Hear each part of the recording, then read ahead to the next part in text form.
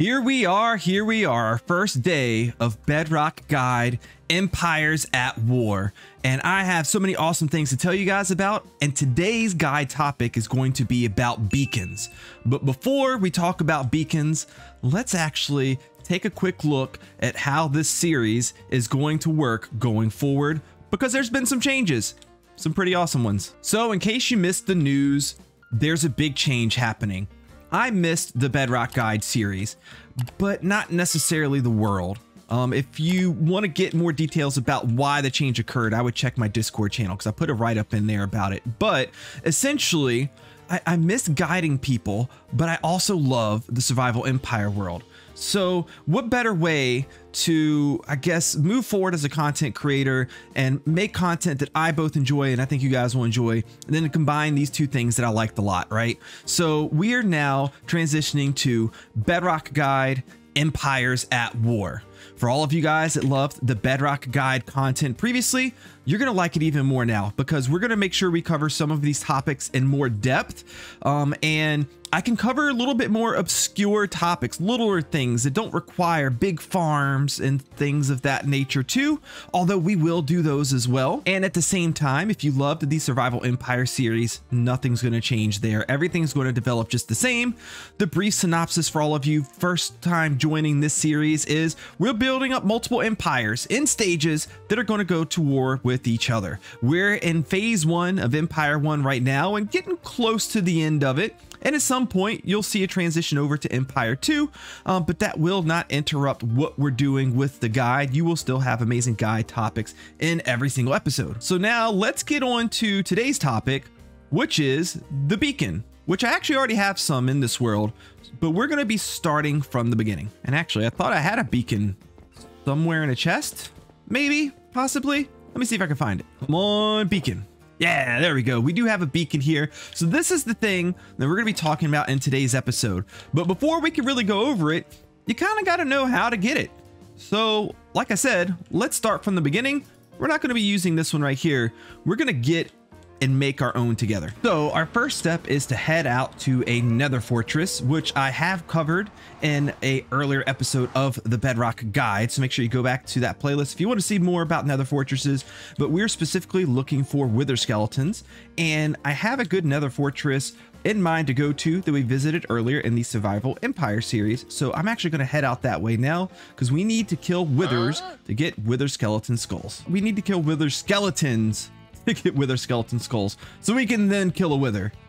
Yeah, that was a little backwards. And here we go. This is exactly where I wanted to be. The reason why I picked this nether fortress to continually come back to is simply because a lot of it is over top of lava and with a lot of it being over top of lava, that means that I have a better chance for wither skeletons to spawn and not having to worry about clearing out as many other spawns. Because on Bedrock Edition, you do have a pretty hard limit on the number of mobs that can be spawned in a particular area at a time. So if you can limit that in any way, in my case, by making sure there's less of other mobs around because there's less spaces for them to be, then that's going to be the way to go. Um, I'm going to prep this area by putting little crossroads over top of each one of these. I will even show you by doing pretty much something like this. It'll allow other mobs to pass through, but wither skeletons will not be able to get through, so I can always keep myself safe and away from potential death. So I'm just to hang out here, kill a bunch of those guys, and I will work my way back over once I'm done. Okay, we have our three wither skeleton skulls here. If you don't already have some soul sand or soul, soul soil, go ahead and get that. And I highly recommend netherite gear, which I, I don't have because I died with all my netherite gear before. And in this um, in this series, I have a special add-on, Expert Plus mode, that makes it so when I die, I lose all my stuff and I just haven't replaced it. So I'm going to go get a little bit of netherite gear action going on. I, I, think I might have some ancient debris. I don't know. I'm going to go check. Um, if you don't already have that, go ahead and get it. And it will be important to our wither fight, which we will kind of breeze over really quick since that's not the main subject of the episode but I'll show you what my plan is. I mean, while we're out here, before I make my way back should we check the chests here? We can find recruitment papers here, which goes with our add-on that we have that gives us these uh, soldiers that we can add to the Empire. If you're new to the series, you might not be familiar with it. They're basically glorified armor stands, but they look really cool, and they're going to help us out with staging our Hello?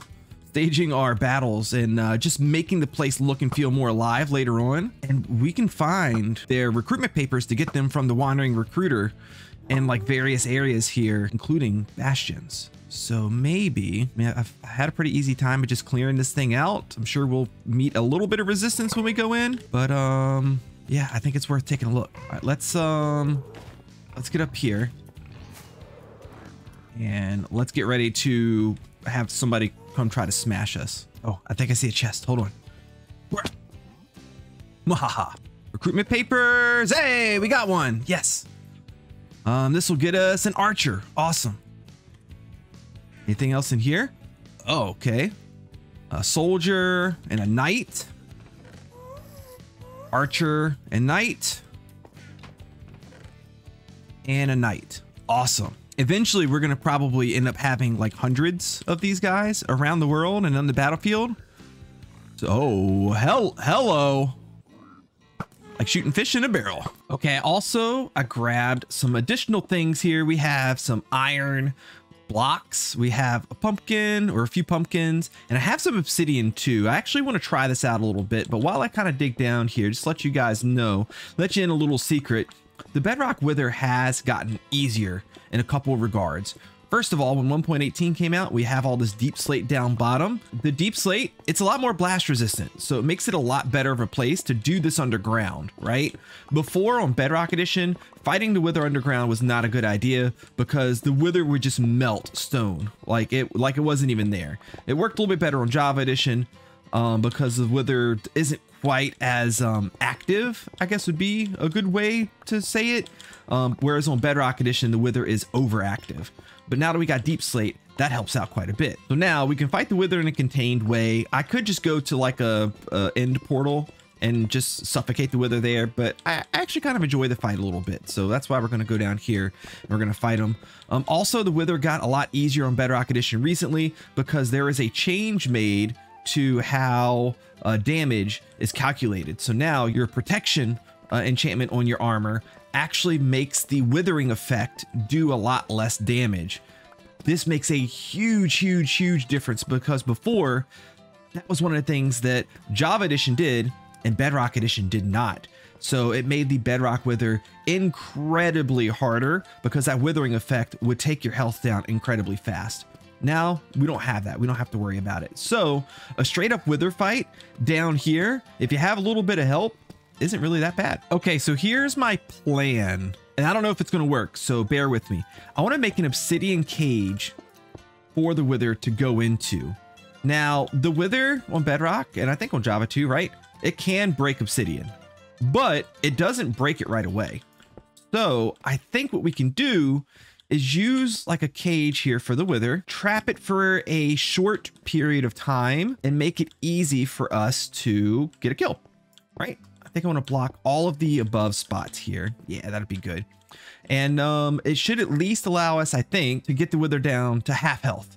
And then from there, the battle should be pretty easy. Now, I do have all my netherite gear on. I have everything with, let's see, protection 4, protection 4, protection 4, and that one's fire protection. I don't I need to, uh, we'll switch it out just to be 100%, right? Or no, my other gear's not um netherite. We're not. We're just gonna, we're just gonna keep it the fire protection. I want to keep my netherite on. And then what we'll do is we will place this here, here, and here. We will grab our skulls here and need to block up our area here. This should keep the wither from escaping. Maybe we'll put maybe we'll put some blocks down on these four too, right? I think this will do the trick. I really do. So let's go ahead and let's place, place, and let's give ourselves, I need a way to like go around just in case like he's back here or up here. I need to be able to get around here. So let's dig around this. And even though I don't think I'm going to need it, I'm just going to be extra cautious here and get myself a few totems of undying just to be on the safe side. Experiment. Let's go. Whoop. Okay, back up. Let him do his explody thing. And then we'll rush in there and see if we can get some hits on him somehow. Ow. Ow. I can't get him. I can't see. Oh, yep, he broke out already, but... Oh, no, now he's going up. Now he's going up. Okay. This plan did not work great. but that's okay. That's okay. We'll just shoot him down. No big deal. As you can see, our health is doing perfectly fine. My bow! And okay, now we got him down here. He will likely do the charge. I'm gonna let him just come towards the golems, um, which they will also beat up the, oh, ow. Okay, that actually hurt a little bit. We're gonna back up some. We're gonna back up some. Just do a little bit of regen. The golems are smacking him. They'll probably kill him anyway. Look, he's still, he's still trying to make his way to me. They're just beating him up. I don't even have to do anything. Look, they beat him. They killed him all on their own. oh, back up. Don't explode. Oof. Okay, and bada boom, we have the Nether Star. Let's go make our beacon. Okay, now that we have everything we need, we can craft ourselves what is arguably the most powerful block in the game. And bam, there we go. We have ourselves a beacon. Now, there's a lot to know about beacons, so let's take ourselves somewhere to actually build a beacon base and talk about it. So, the beacon. How do you use it? What does it do? What things do you need to use the beacon? We're going to go over all of those things right here, but this is it. This is the beacon right here. And as you can see, it's not really doing a whole lot of anything. It has it has some cool things in here, but I can't use it yet. That's because we need a beacon base. And a beacon base is going to be made out of a variety of different ore blocks. You can use iron blocks, which I have here. You can use gold blocks, uh, you can use emerald blocks or diamond blocks, or even netherite blocks. And there are a few different tiers of beacon. You can make a three by three size beacon like this and put the beacon on top. And as long as it has sky access, meaning that it can reach all the way up to the sky, then it'll work. Now keep in mind also in the nether, as long as you clear out all of the netherrack and different bits and things all the way up to the to the bedrock ceiling so you clear out everything all the way up to bedrock your beacon can work in the nether as well. Now if we take this 3x3 beacon and open it up and take a look you can kind of see here this little bit of a representation here. This top level the beacon is what we have currently and it unlocks the use of speed or haste. Speed quite simply makes us run faster so i can click over here I do not have any other options. I can just click the one thing. I hit the check mark and now I do have speed. So you'll see once that kicks in, I am running faster than I normally do. Or I can put in, and again, you can actually, it shows you here what materials you can put in to change or activate the beacon. You do have to do that. Um, I can switch over to haste, hit the check mark. And now with the haste effect, I will actually mine faster. Now this is all well and good, but maybe we want to move up in tier. So what we can do is we can get rid of our little beacon right here and we can increase this to a five by five. Now in doing this, you can use any blocks in combination, right? So I mentioned you can use gold blocks or diamond blocks or emerald blocks or whatever. They don't all have to be the same block. They could be whatever. But now that we have the five by five base, now we will fill in a three by three on top of it. Place our beacon back down. And now we have the next tier available. We have resistance, which makes us take less damage. And we have jump boost here, which actually allows us to jump higher. Now, if I'm correct, I think jump boost here will let us, will let us jump over a fence. I think it will. Yes, you can see we can now jump over a fence with jump boost level one. But we want more. We don't just want these, these cool like effects and additions to our playing of the game. We want to go bigger. So let's go up the next size, which is a 7 by 7. We will make the next layer the 5 by 5 and we will add the 3 by 3 on top. Now we have access to strength, which will make us attack harder when we use an attack. So that's good. We can do more damage. Great if you want to fight the Wither. You can set up a beacon close by and fight the Wither. Um, or if you have any other situation, maybe a raid, you want to have a little bit more attack ability, you can add in a level 4 or above beacon and get strength and use it. But we don't want to stop at strength. We want to get to this over here. Secondary power. What is that? We are now going to a full-sized 9 by 9 beacon. Whoa, let's not mess that up. And we will upgrade this layer to a 7 by 7 the next layer to a 5 by 5 and then we'll add another 3 by 3 on top. Here's our 3 by 3 at the top now. And as you can see, if I back up here, we now have four tiers to our beacon base. We put this on top. And now, not only do we have all of these unlocked, but you see a second option over here unlocked. Now I learned a little trick while I was researching beacons. This is a parity difference between Bedrock Edition and Java Edition, is that on Java Edition, you can actually activate two of these primary powers at the same time. It's a little tricky, but what you have to do on Java Edition is let's say you want to have speed and jump boost. Well, I could click speed. I could click one of these over here, but then click back over here to jump boost, And if I activated a beacon and looked at my effects, it would show speed and jump boost. It would give me both. Unfortunately, on Bedrock Edition, that trick does not work. But what does work is we can click on any one of these and it will give a level two effect to the, the ability that we chose, right? So that speed, if we want to have a level two speed effect, we can do this. Once it kicks in, there it goes. Now look how much faster we're running. We are moving. We can do the same thing with the jump boost.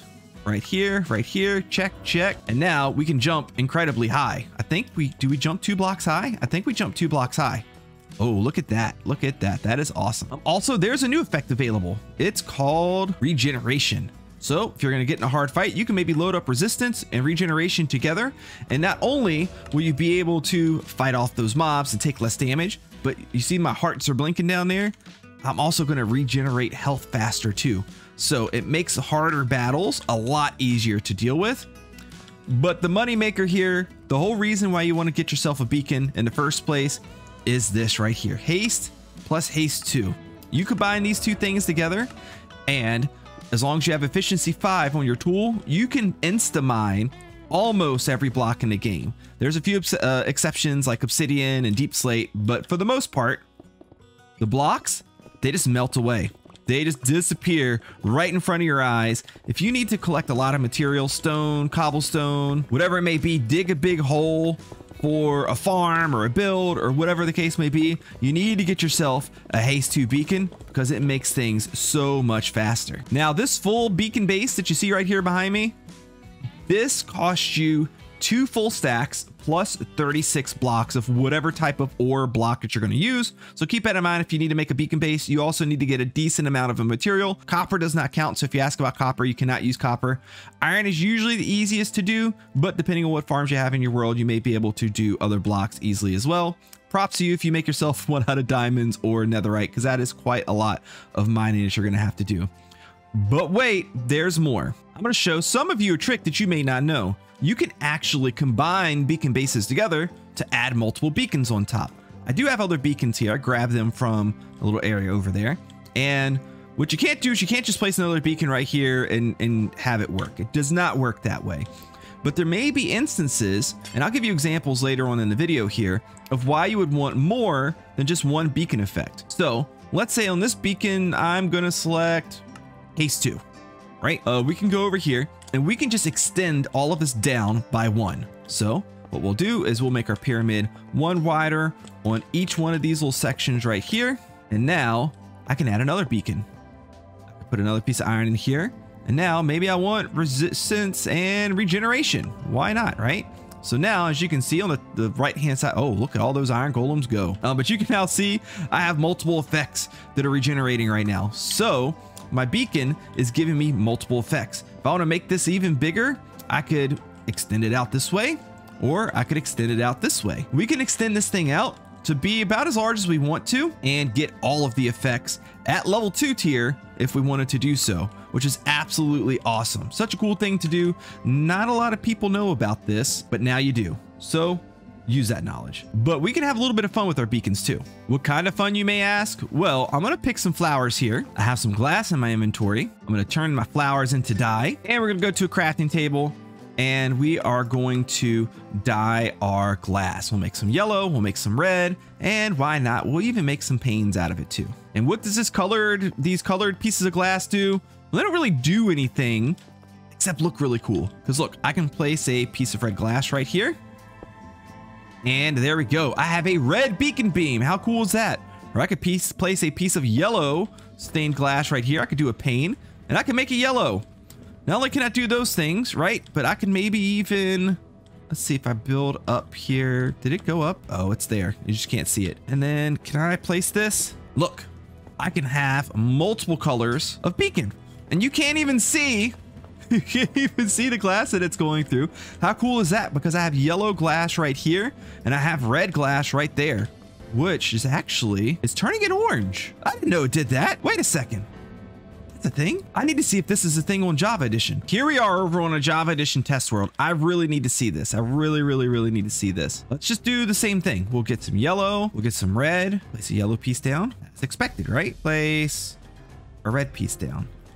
Ah, it does do that. That's super cool. This is something I did not know. And now that we've had a little bit of fun playing around with colors, because that was interesting, now let's talk a little bit about the range of a beacon, because see, this thing doesn't just last forever. I can't go way out that way and still get the effect from this beacon. There's a limited range in which it'll work. Now, when you have a level 4 beacon, which is the only one we're really going to talk about now, because this is what most of you guys are going to use, that range is 50 blocks. So 50 blocks from here, in all directions, north, east, west, south, whatever, all the sides, it goes 50 blocks out and it also goes 50 blocks down. Now, the big thing here is that it will actually extend up 384 blocks. So I can fly up here and continue to fly up here and continue to fly up here and I'll keep getting this beacon effect. It'll keep refreshing itself because it'll go up 384 blocks in the air. But again, it will not do that same. Oh, I wasn't even flying that fast. How did that happen? Oh gosh. That's scary. Okay. Um. Anyways, um, it won't extend down. That I, I'm. I'm, I'm nervous. I'm gonna go get another. I'm gonna go get another totem. Remember, if I die on this world, I lose all my stuff I have, and I just upgraded netherite armor, and I am not taking any risks, especially with how that, for whatever reason, wanted to kill me. Okay, much better. I feel much more comfortable. My heart's still beating fast. But in any event, what that means is if you're gonna use this beacon over a large area vertically, you probably just want to bury it as low as you possibly can. Like all the way down to the bottom of the world is going to be the best place to put it. If you have the desire to want to actually dig it down and put it down that far, then that's going to be the best place for it to go. Now we're actually going to take a short break from beacons because here in a little bit, I want to show you guys some like really effective uses of them. I want to show you the most common areas or times that you're going to want to actually use a beacon. But first, I haven't really got much building done lately, and I've been really procrastinating over here. Um, you'll see I have RTX mode turned on right now. We'll, we'll talk about that, maybe even as a separate guide of its own in the near future. Um, but I like to use RTX mode when I'm doing building stuff because it just looks so good. Um, but we have all of these like variety of houses out here that we have no details on right now. And even some I haven't even like built out like the extensions to them and things like that like I did over there. So I think I'm going to spend a little bit of time over here doing a little bit of building. I may even schedule some of this building around a stream pretty soon too. I would just like to make a little bit more progress over here. All right, me and stream, we had a good time. I've had a couple streams since I last recorded. And first of all, my big mess in here, I got rid of it. Those are all empty just for like quick, easy access to grab and go.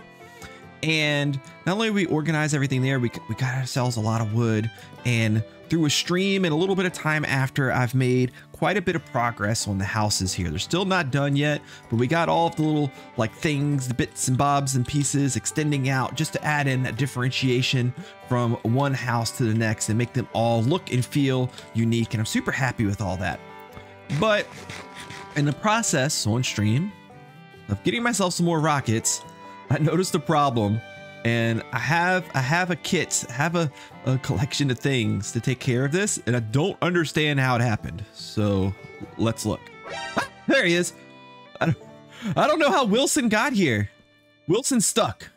We need to get Wilson home. He's been rescued. He's been rescued. That's what we've done. We've rescued him. I also have one more task to do.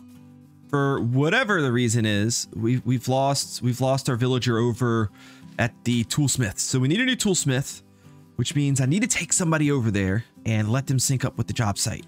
Are you?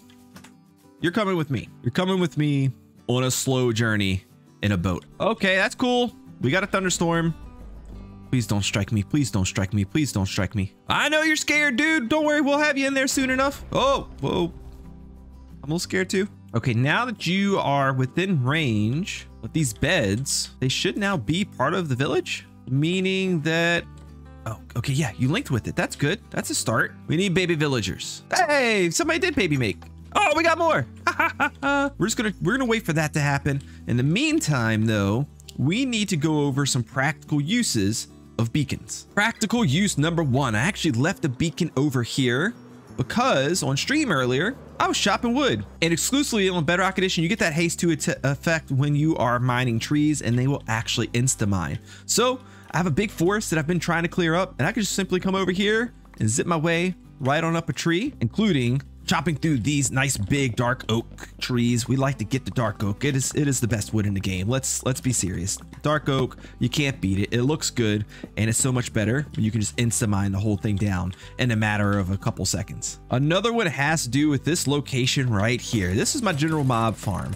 And we come over here to get gunpowder and other good, amazing things. And while I'm hanging out here, especially if I want to AFK here for a long period of time, maybe I want to leave my, my PC on overnight or something to get a whole bunch of gunpowder. Uh, well, the problem is that a lot of these mobs, the skeletons, the zombies, they might spawn with thorns on their armor. Thorns is an enchantment that damages the person that does the attacking we're technically attacking them with our Trident Killer in there. So what happens? Well, well, we take damage every so often. And over a long enough period of time, those little bits of damage, they add up and we, we would die. Unfortunately, death, death would occur. But not here, because you see, we have the strength effect, not really a big deal, but we have regeneration and resistance too. So the Thorns is giving us less damage and we are regenerating health if we happen to run out.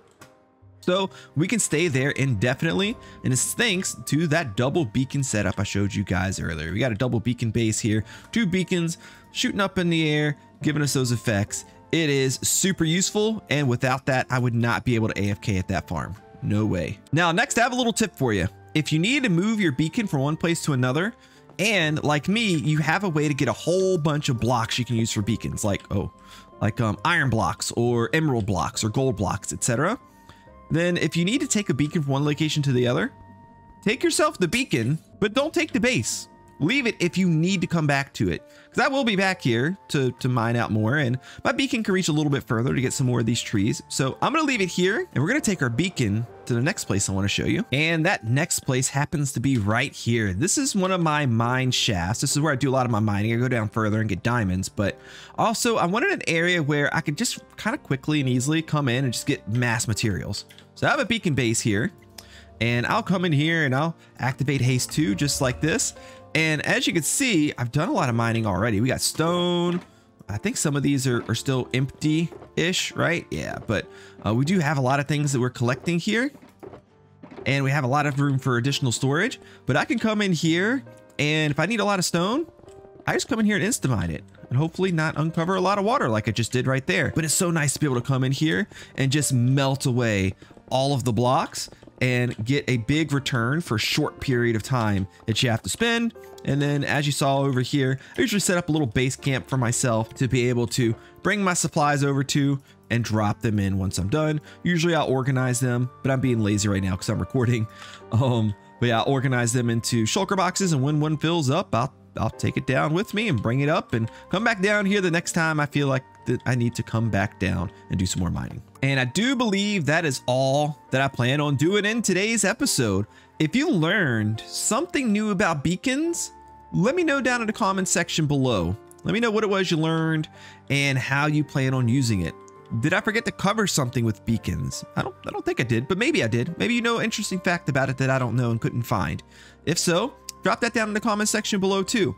If you enjoyed this uh, video, leave a like, click the subscribe button on the channel, and consider leaving a super thanks in the video if this video helped you out specifically. That is just a small donation that goes towards the channel, goes towards keeping me a full-time content creator for you. Again, thanks so much for being here. I appreciate you, and I'll see you in the next one. Bye!